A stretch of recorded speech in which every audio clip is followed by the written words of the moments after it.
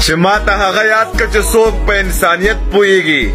زه لیونی نه یم چې سپوله جوابونه ورکوم زه خپل معیار ساتم زه خپل معیار نه راغورځوم زه به اوس دغسې سړو له جوابونه ورکوم